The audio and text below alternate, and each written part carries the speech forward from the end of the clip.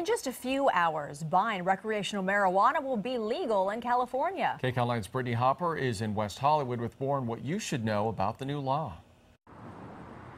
California will now be the largest state to legalize marijuana, but there are still some restrictions. Criminal defense attorney Lou Shapiro. So, a lot of people don't realize is that you can't just smoke marijuana whenever you feel like it or wherever you'd like to.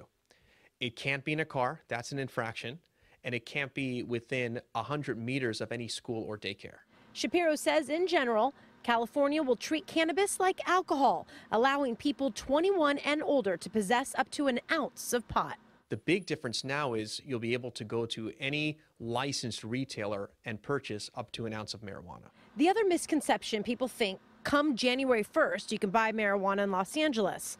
But there's actually only a handful of shops that are allowed to sell pot because LA has delayed accepting applications for legal sales until January 3rd.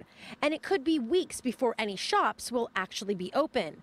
But Dina Browner, co owner of Alternative Herbal Health Services in West Hollywood, is one of the shops that will be able to sell come January 2nd. But for so many years, everyone has known how simple it is to go to see a doctor and get a little letter. And so it hasn't been an issue for us. Um, but do we expect big lines? Yes, we do have a lot of people who have been waiting for this day.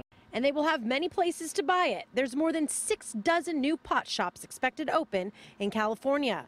But a big concern by many, authorities are expecting to see an increase in cannabis related crashes. While we've seen alcohol related DUIs significantly go down due to Uber and Lyft, on the other side, now with the legalization of marijuana being so accessible from these shops on the street, marijuana DUIs are definitely going to go up.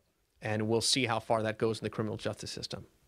Now remember, even though marijuana will be legal here in California come January 1st, it is still illegal at the federal level.